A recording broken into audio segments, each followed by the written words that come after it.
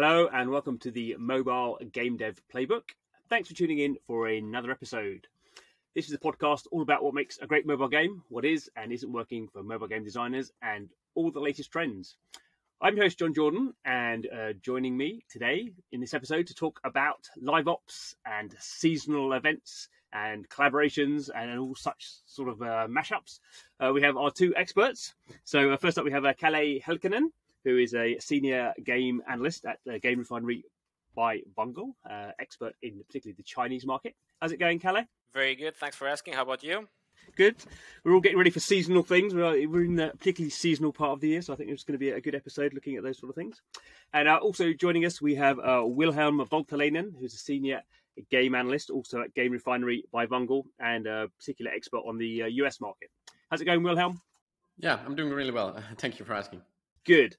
So uh, we're gonna we're gonna kind of cover a bit of ground. We're gonna look at, I guess, generally this is seen as sort of live live operations, how these uh, mobile games that have been going for now, you know, maybe up to a decade, how they're keeping their audiences sort of re-engaged and, and coming back, and, and, and, special events are, are, a massive part of that. And I guess particularly, um, as, as, we say, kind of seasonal events are, are, a really good way of sort of uh, getting kind of these fantasy game worlds in some cases sort of linked into the real world and getting people sort of excited about these things. So um, we're going to talk a bit about, I guess, about the difference between sort of Asia uh, uh, uh, and the West. But you're going to sort of you're going to sort of kick us off talking about the kind of Western markets and, and how sort of seasonal events sort of are, are playing into that and what's going on in the market at the moment. Yeah. So in the in the in the Western market, of course, nowadays talking about seasonal events, well, first of all, they are have been they are currently extremely popular. I think about ninety percent of top grossing 100 games in the US utilize some kind of seasonal events. Uh, and and also looking at sort of what kind of different, of course, because there's a lot of different kind of seasonal events you can use, Christmas, New Year, and so on. But many of these top grossing games actually uh, take the opportunity to utilize almost all of these bigger seasonal events. So they have events for Christmas, events for Halloween, for summer, and, and so on. And we have also been seeing uh, sort of huge, huge rise in in, in the smaller uh, events as well. For example, like Oktoberfest, Midsummer, and and and so on. And they are, especially the smaller events, have been like gaining popularity each year. And uh, then when looking at the sort of the event structure and what kind of the event, the seasonal events usually actually are, well, they have been varying from all the way from just small UI uh, team changes. You know, you have a seasonal team in the UI, uh, limited time IAP offers, all the way from that to like these huge, fully fledged uh, events with special tasks, uh, event currencies, uh, limited time content like uh, seasonal game modes, or and, and of course pretty much always when there's a bigger event, you have these exclusive seasonal themed rewards. Uh, but nowadays, I think one of the also one of the biggest trends in terms of seasonal events, and I think in terms of the bigger events in general, uh, has actually been that they are, have been sort of utilizing this same kind of event framework uh, throughout the whole year for all the events. Uh, basically, just you, you know you have the usual mechanics in the in the event, and then they just change the skin from uh, let's say there was Christmas event, and then you have Easter event, and it's basically the same event, just new rewards and new team and maybe new story elements and so on. Uh, and I think this is actually quite clever way in the terms. Of course, it's uh, event event rules and everything is already familiar familiar to the player, but it's also uh, because of course there's live op, live ops and, and and and running as much events as possible has been like really proven uh, and working way in, in, in mobile the mobile games. So as of course there's also limitations with live ops.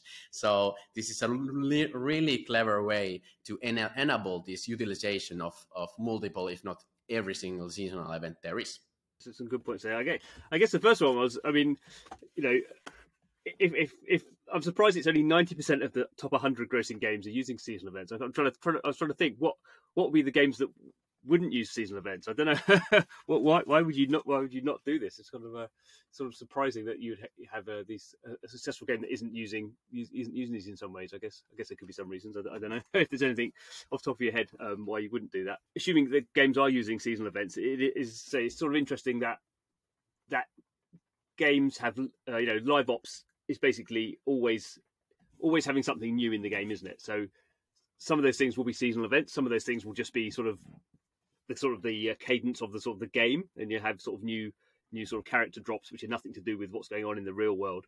Um, but but I guess it's as you, as you say, it's the, you, you always want something new happening, and and so the live ops team sort of gets that framework in, and then the, to a degree it's sort of putting in skins.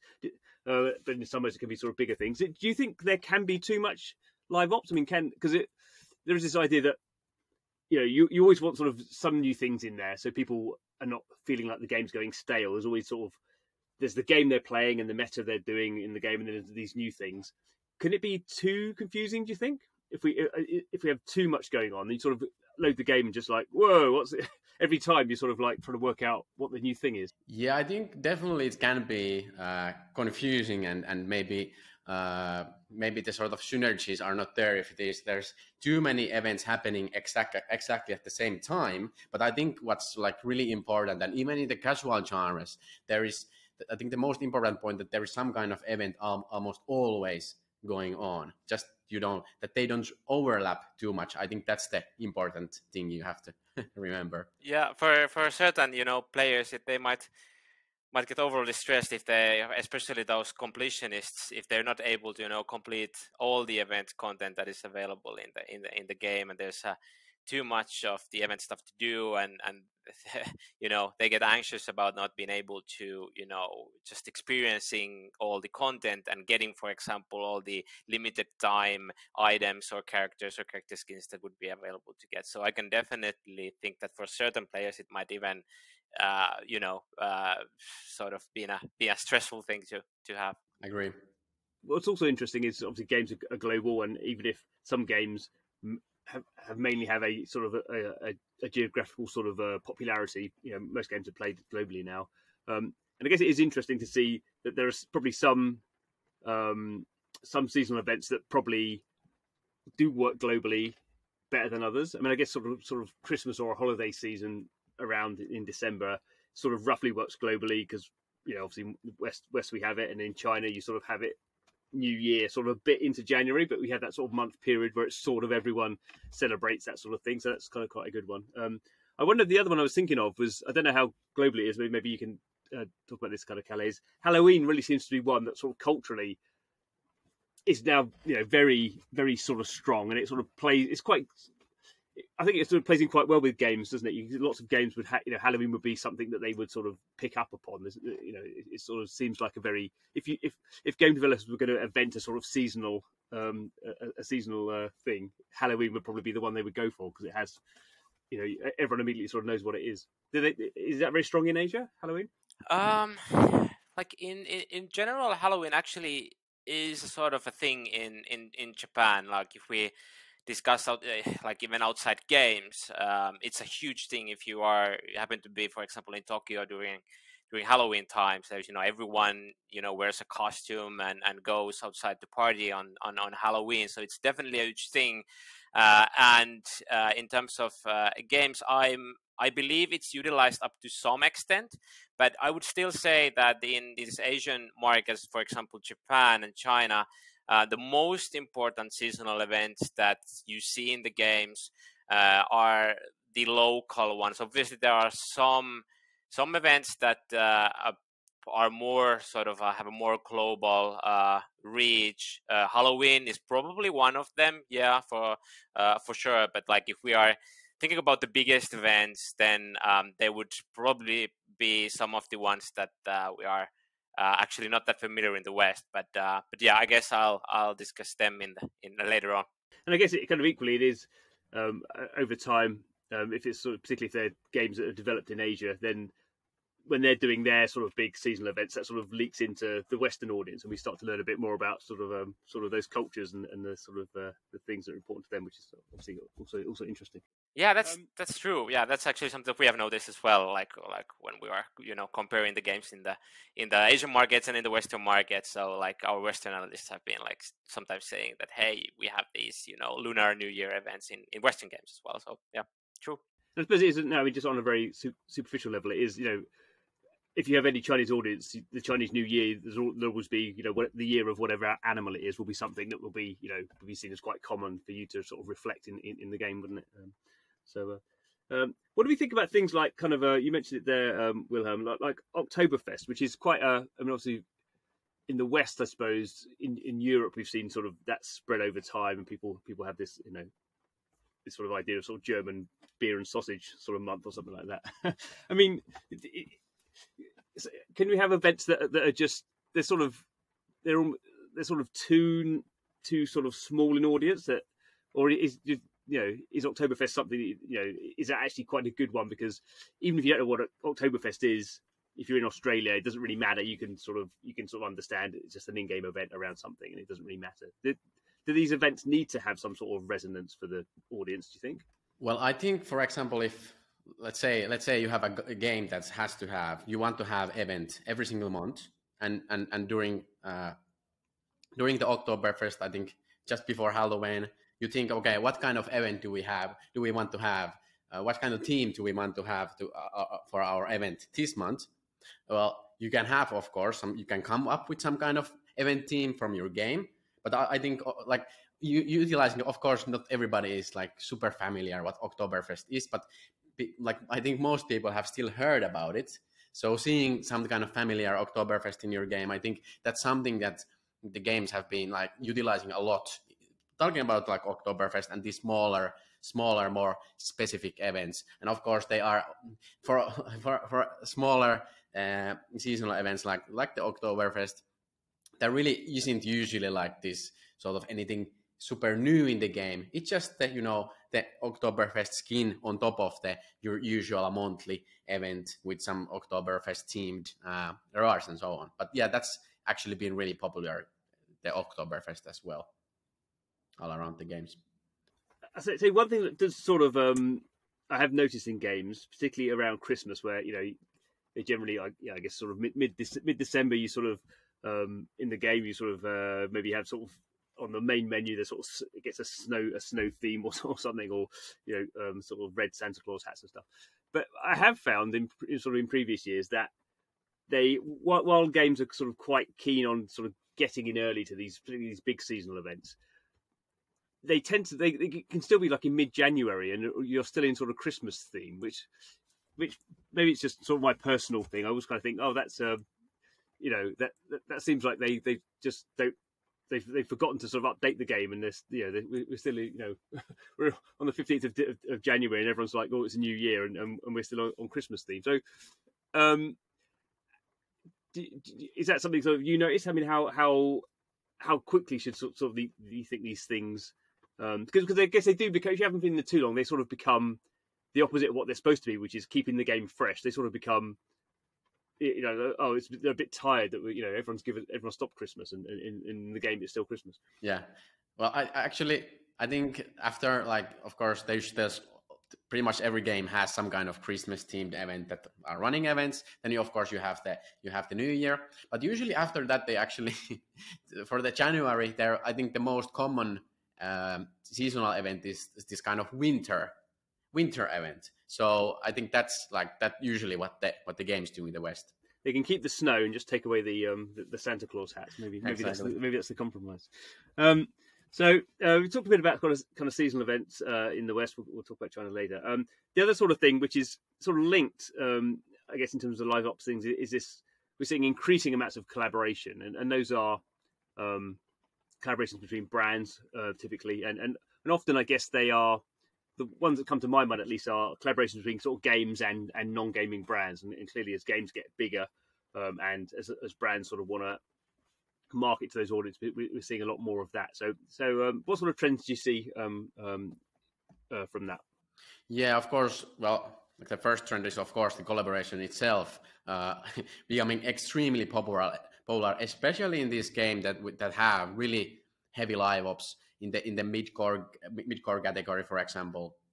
Uh, but like some some really good examples, I think uh, from of course it really depends on the game, what kind of the event is, and and and, and the collaborate what, what sort of brands they collaborate with. But for example, one of the like the biggest sort of uh, collaboration, the biggest games that use uh, collaborations is uh, Roblox. I think that's like really good example. Uh, for their events, I think most of the like nine out of the ten different events that they run in the game are some kind of collaborations. For example, just they just had collaboration with uh, they had they, well they have had actually these concert events quite often now where where uh, different uh, artists sort of do their album releases inside the Roblox uh, in, in, this virtual experience. So they just they just had one with the 21 pilots, and of course bef- before that they've had uh, with Zara Larsson and and and and, and Lil, Nas X also. But but on top of that, they while they had the sort of the 21 21 pilots uh, experience, they also had at the same time they did with the collaboration with Vans. so whole whole another collaboration. So what they did actually that uh, they they created this Vans huge Vans uh, game inside Roblox, where it's got, you, you get this sort of Tony Hawk pro skater feeling because it's basically a hangout social area where players can skate. It's it's basically a permanent game in, inside Roblox with the, with the Vans team, and players can purchase Vans items and, and, and skateboards and, and, and what else to, to their character. So those are like really good examples. And also, uh, actually, um, um, MOBA called Mobile Legends Bang Bang. We have actually seen because well, I could talk about this, go, go really deep about this, but like um, MOBAs are probably one of the hardest uh, hardest uh, genres to monetize because they have to rely he- really heavily to uh, on the on the cosmetic economies to avoid pay to win. So how, what how Mobile Legends Bang Bang has actually been able to monetize extremely well is through these collaboration events. They basically they just had, for example, collaboration event with Transformers, where where basically there was like this super cool exclusive skins that player could use for their favorite heroes uh, like Optimus Prime and and and and, and those, and and how players could get them is that basically through these special gachas. But those those are basically like there's there's eh, so much possibilities in in utilizing collaboration events. I think that like the exclusive characters are just one like extremely good example.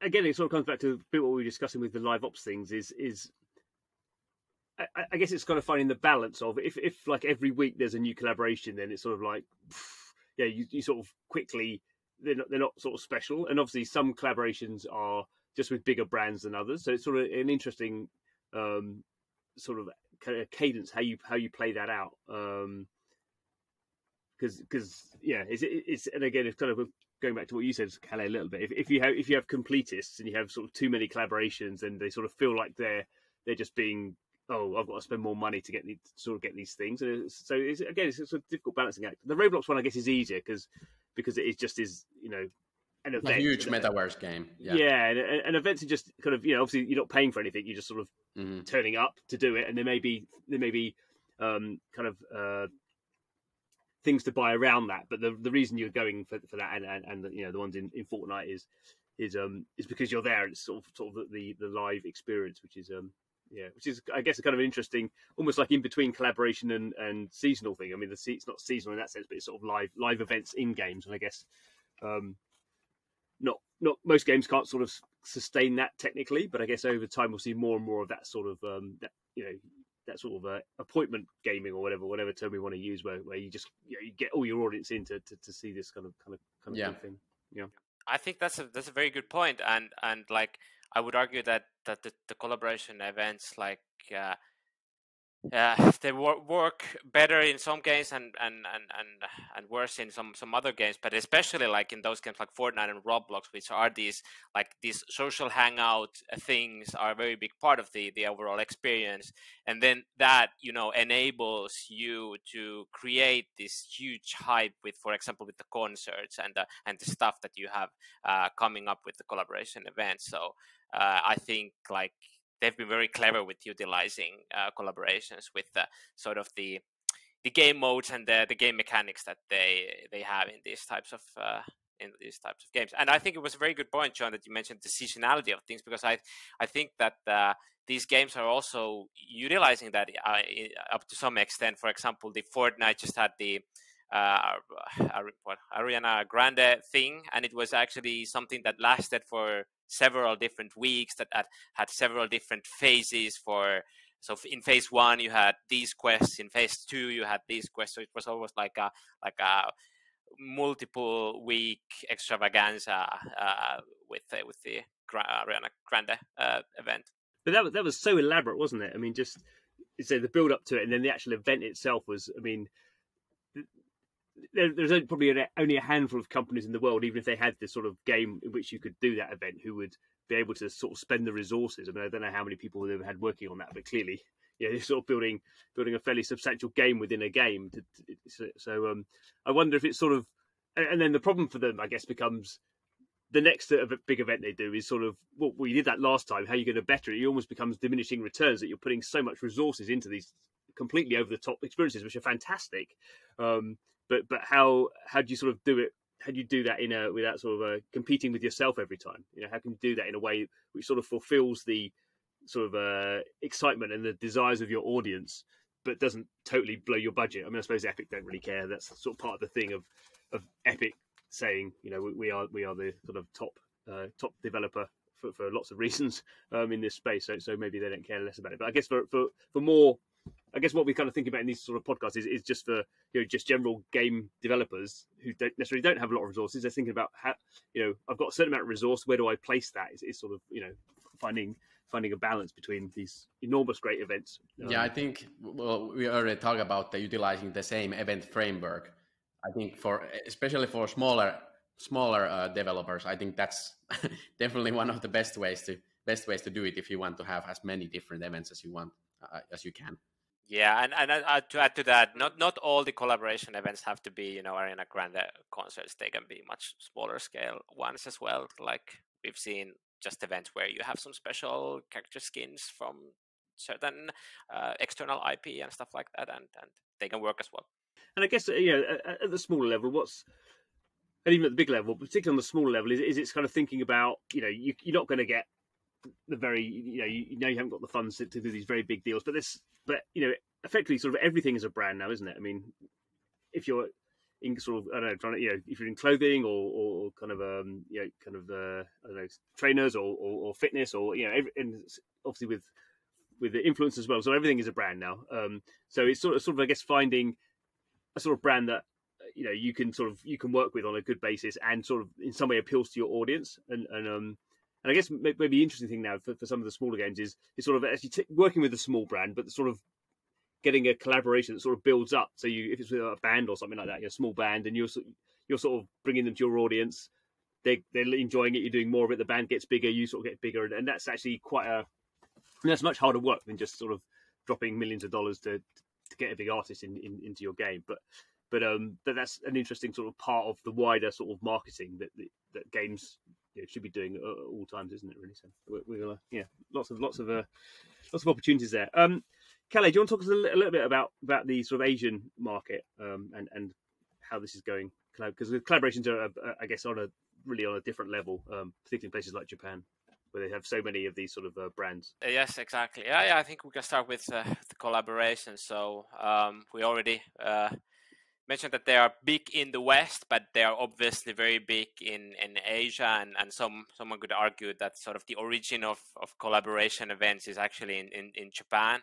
Um, just look at I just looked at uh, our data and uh, collaboration events in top 100 among top 100 top 100 grossing games are utilized in 50% of the games in China and in 65% of games in Japan. So very, very big in, in, in Japan. Didn't look at the, the number for, for West, but I believe that it's not that far away in the West as uh, as well currently. But yeah, in Japan, it's it's like it's very common to you know have it's like you can have one IP uh, to appear in multiple different types of games. So uh, one that is very popular is, for example, the Persona uh, gaming franchise. And then when it comes to obviously there's numerous numerous uh, manga fra- IPs, manga franchises that appear in in in Japanese uh, RPGs, but one that just uh, caught my eye is the Attack on uh, Titan. Uh, because it just has just appeared in so many different games. It is uh, like I have. This, this, is just a list of some of the games that our Japanese analysts have have seen the the Attack on Titan IP, and I can see eleven top 200 grossing games that you know have had some sort of attack on titan collaboration event in them including knives out and monster strike uh, for example. So collaborations are big in japan but they are big in china uh, as well. And in, in terms of china one thing that I, I, need to mention here is is kfc so kentucky fried chicken. Um, wouldn't probably be the first one to come to your mind when you think about which brand would be a very suitable fit for a collaboration event in in a mobile game. But uh, like uh, after like I don't know the fifth or sixth or the seventh collaboration event, like we were like, okay, uh, looks like this is the, this is the the, the IP that uh, every single Chinese games wants to have in their in their sort of event portfolio. So um, just like giving you some examples of games. Uh, Moonlight Blade, which is very very popular MMO uh, in in China, they had a KFC collaboration event where fans of the game could purchase a KFC meal, you know, a real KFC meal in a real KFC restaurant, and then through that get some in-game items uh, in the Moonlight Blade game, including some KFC themed uh, cosmetic items. So uh, for all the KFC fans, they can you know uh, show them show those off in the game as well. Uh, then in also a very popular RPG game called Onmyoji, uh, they utilize actually location-based technology uh, in the in the event. So uh, they incorporated 5,000 different KFC locations in this event. So players could look up in the game that those different KFC locations, go to those low uh, KFC restaurants, and then in those restaurants, or I believe like in the near vicinity of those restaurants, they could then battle uh, some specific uh, special uh, Onmyoji monster enemies, monster ghosts, uh, and then through that get various kinds of uh, rewards. And they could also invite their friends to fight these ghosts uh, uh as well. And then maybe the third one to mention here is Genshin Impact. That's a game that is probably familiar to everyone in the West as well. Um, so they had just you know branded meals, uh, limited time Diluc. So Diluc is a character in Genshin Impact. Have the Diluc branded uh, buckets that you could buy in KFC tor- uh, stores, and uh, and they were branded with the uh, with uh, famous red and white colored wings from the from the again Genshin uh, uh, franchise. So so that that that's been something that's been really interesting to follow in the in the uh, in the in the sort of Chinese collaboration scene. I guess it's it's interesting that because that's not really from the examples you were giving. Uh, that's more sort of using the game to drive kind of you know kind of real world activity to drive people to buy uh, KFC stuff rather than uh, it doesn't, it doesn't seem like because obviously you know what what KFC item would you have in the game? Because a lot of the collaborations now around sort of fashion and stuff are about having in-game items that are uh, you know the digital representation of the real life thing. And I guess for most games, having a bucket of Ken, Kentucky Fried Chicken in the game doesn't make really doesn't make any sense. So so the fact that the, the, the brand is actually really sort of loose you know, it's, it's a very sort of loose thing in the game. It's not really not really impacting in the game, but it's driving sort of gamers in, to, to change their real their real world behavior, which is kind of like I guess the opposite of a lot of the collaborations that we're seeing. Yeah, I, I guess it goes both ways. Yeah. So I think there's like positive synergies to, to both, you know, both parties. So for the the, the IP that wants to co- you know collaborate, obviously there's you know they get more brand outreach in the in the in the game, and then also the the uh, the the game gets more visibility in the in the for example in the KFC store. So uh, yeah, I guess it's a it's a win win for both sides. It just sort of when you said that reminded me that um, KFC had that crazy um, they called it the cooler or something, didn't they? They they they did this big. Uh, I don't know if it was a, it was just a meme thing where they did a a, a, a PC built into a some sort of KFC I think it was a fridge or something. It was some really. Weird, I need to check it up. It was some really weird thing that they did a, a year ago. I, I have a I, I have a recollection of that one as well. But uh, yeah, I, I, didn't didn't know KFC was so big in China. It's one of those weird things. It's huge. It's huge. Yeah, yeah. Well, I, I would assume that one of their biggest markets, probably. But yeah, on on maybe I'll just continue a bit on the sort of Asian uh, seasonal events uh, as, as as well. So it, like I mentioned in the beginning, so uh, China and Japan they have their own seasonal stuff and own uh, event thing like event related uh, content that is very popular in these uh, in these mar- markets, and there it's somewhat pop, somewhat different than in the in the West. Maybe a couple of highlights to throw out here is that um, in China you have the Singles Day that happens on 11th of, of November. I think it's getting re- relatively popular here in the West as well. Uh, at least here in Finland, you can see you know it appearing in in you know like big stores advertising it. But anyway, in China, it's it's huge. It's you know it's the Black Friday in in in China. Uh, so all kinds of promotions. Like in thinking think about mobile games, uh, what you see during during um, the singles days that you have these huge you know promotions, bundles, discounts. So if ever there's a time to think about making a you know attractive promotions or offers or bundles then then that's that's definitely the the, the day to to do that. Then there's the Chinese New Year that we discussed uh, already. I think one thing to mention about that is that because it's such a long holiday, so in mobile games, what we see is that the Chinese New Year events, there's diff there's multiple different sort of stages to the event how they roll out. So in week one they roll out these things and then in week two they roll out these next couple of uh, sub events or stuff like that and, and, and so on. So so that's something that they that they clearly clearly do. And then one one specific thing uh, is the red envelopes that you see in the games. I think you, we see in the them in the West as well, right, Wilhelm? So like yeah, during during the Lunar New Year events, yeah. at least.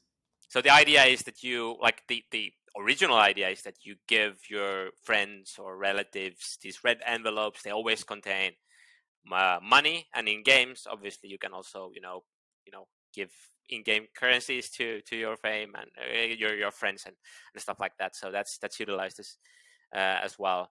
Um, and then some other big festivals, May the May celebrations, and then the Mid Autumn Festival is actually going on right now.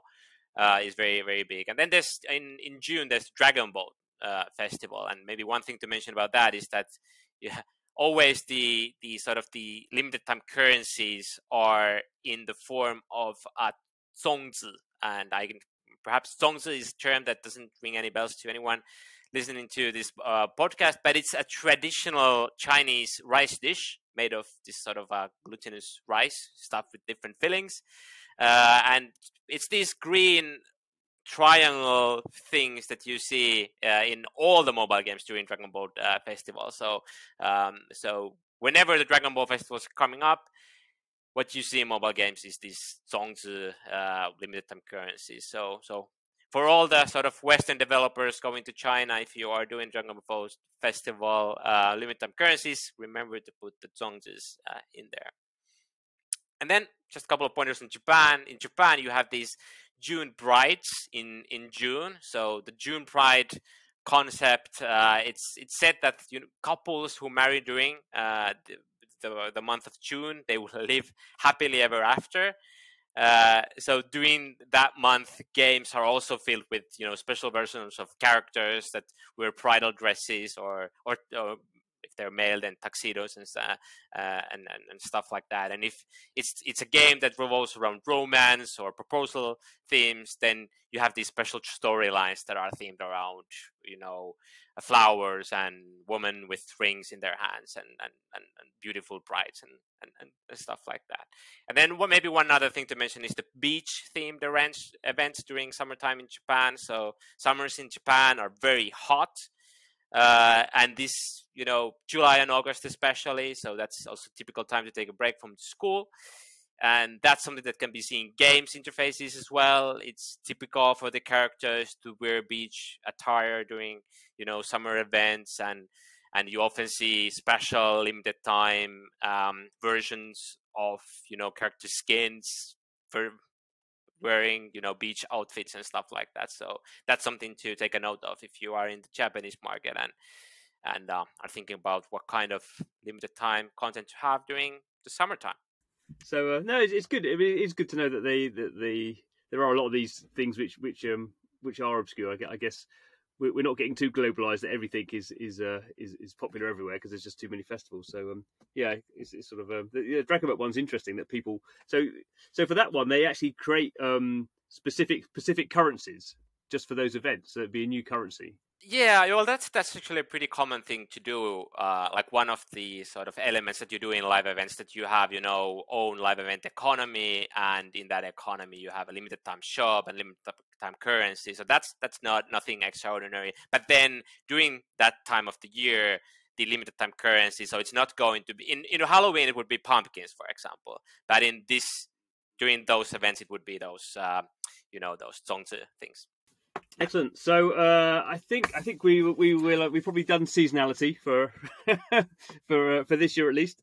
Um, I hope that's that has been useful for, for people. I guess um, there are always sort of interesting sort of granularities you can find, and, and I guess um, while there are these big ones, sort of sort of these big seasonal events that everyone um, celebrates, I, I think some of the stuff we sort of pointed out is, is you kind of you need to find out what is interesting for your audience, whether that's sort of um, you know could do very local seasonal stuff if you have a very local audience, or and certainly when it comes to collaborations, finding out which are the sort of the best collaborations um, for your audience and, and, and finding out sort of what your audience likes or what your audience wants to know more about if it's if it's if you're trying to kind of work with with uh, with smaller brands. But anyway, thank you uh, very much, uh, Kalle, and thank you very much, uh, Wilhelm, for your expertise. Thank you. Thank you. Thank you for listening and, and watching. We're available through the usual audio podcast channels and, and also video as well. So um, hope you're enjoying the uh, the, the uh, podcast or the video cast. Uh, please, if you are, do give us uh, some feedback, um, some some uh, uh, on particularly on the on the podcast side. If you give us some reviews, that that will be really great. Helps other people find the podcast as well. And don't forget to come back next time. We are regularly looking into the world of mobile games and seeing what is going on. There's always um, loads of interesting stuff to to delve into. So I hope you're enjoying it. Um, come back next time and see you then.